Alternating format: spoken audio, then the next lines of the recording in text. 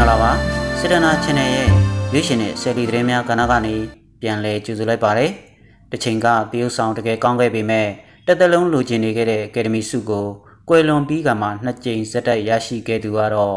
တရုတ်ဆောင်မင်းသားကြီးဇော်လင်းပဲဖြစ်ပါတယ်။တရုတ်ဆောင်ဇော်လင်းရဲ့အမည်ရင်းမှာဦးစမ်းမောင်ဖြစ်ပြီးမော်လမြိုင်မြို့တောင်ပိုင်းရဲ့ဦးစံအေးဒေါ်ထေးတင်တို့ကဖွာမြင်ခဲ့ပါတယ်။ဒါရိုက်တာမောင်တင်ဦးရိုက်ကူးတဲ့ဘဲစုတောင်းမလဲချစ်သူဇက်ကားနဲ့ ရုပ်ရှင်လောကကိုဝင်ရောက်ခဲ့ပါတယ်။အဲ့ဒီဇက်ကားကို1982ခုနှစ်မတ်လ31ရက်နေ့မှာရှေ့ဆောင်တပင်ရွှေဒီနဲ့ဘရင်အောင်ရုပ်ရှင်ရုံများမှာတပြိုင်နက်တည်းပြသခဲ့ရမှာဇော်လင်းရဲ့အမိကိုပြိသက်များသိရှိသွားခဲ့ပါတယ်။ဒီရုပ်ဆောင်ဇော်လင်းရဲ့ထင်ရှားတဲ့ရုပ်ရှင်ဇက်ကားတွေကတော့အချစ်ယူဖက်ဖူးရောင်ကျေးကျူးကဘာသူ့ဘဝကိုအသေးစိတ်စိတ်တသိပုပ်ပါဖူးစာချစ်စရာမှုချစ်ပါသည် ကဘာဆယ်သိန်းချစ်ပါမယ်စတဲ့ဇာတ်ကားများပဲဖြစ်ပါတယ်။ခေါင်းဆောင်မင်းသားကစလို့မင်းသားအကိုမင်းသားတငယ်ချင်းမင်းသားအဖေ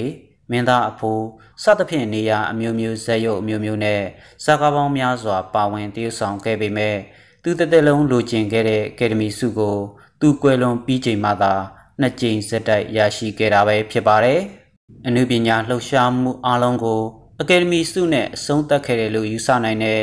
တရုတ်ဆောင်ဇော်လင်းရရှိခဲ့တဲ့အကယ်ဒမီဇက်ကားနှစ်ကားကတော့1995ခုနှစ်တိုက်ပွဲခေါ်တန်ဇက်ကားနဲ့1996ခုနှစ်ပန်းသခင်ဇက်ကားတို့ပဲဖြစ်ပါတယ်။တရုတ်ဆောင်ဇော်လင်းဟာ1995ခုနှစ်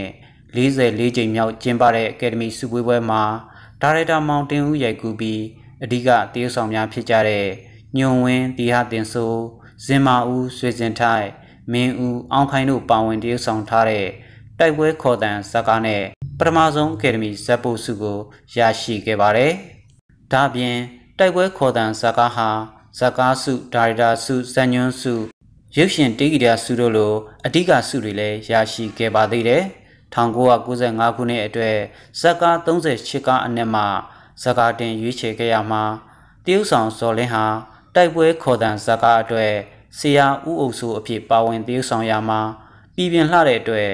အမျိုးသားဇက်ပုစုပေးအပ်ချီးမြှင့်ခြင်းခံခဲ့ရတာပဲဖြစ်ပါတယ်။1995ခုနှစ်အတွက်အကောင်းဆုံးတရုတ်ဆောင်များပညာရှင်များအကယ်ဒမီဆုပေးအပ်ပွဲကို1998ခုနှစ်ဖေဖော်ဝါရီလ10ရက်နေ့မှာကျင်းပခဲ့ရမှာတရုတ်ဆောင်ဇော်လင်းဟာ1996ခုနှစ်နိုဝင်ဘာလ9ရက်နေ့ကပင်ကွယ်လွန်ခဲ့ပြီးဖြစ်တာကြောင့်သူ့ရဲ့အကယ်ဒမီထူးချွန်ဆုကိုဒါရိုက်တာ A1 မောင်လာမျိုးကကိုစားတက်ရောက်ယူပေးခဲ့ရပါတယ်။တရုတ်ဆောင်ဇော်လင်းဟာ